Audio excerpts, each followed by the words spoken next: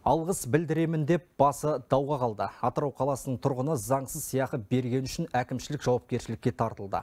Қалалық полиция басқармасының қызметкері облыстық сыбайлас жемқорлыққа қарсы іс-қимыл департаментіне шағымданған.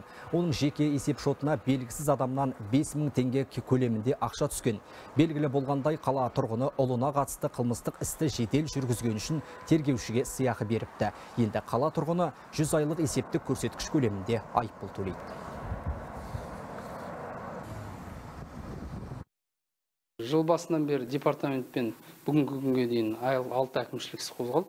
Олардың біреуі алты жүз алпысыншы бабымен және бесеуі алты жүз жетпіс алтыншы баппен әкімшілік құқық туралы кодексінің алты жүз жетпіс алтыншы бабымен қозғалған. Осындай фактілер бүгінгі күнге дейін тыйылмай отыр. Екі айлық есептік көрсеткіштен төмен мөлшерде сыйлықтар болған жағдайда әкімшілік жауапкершіліктер көзделетінін айтып өту керек.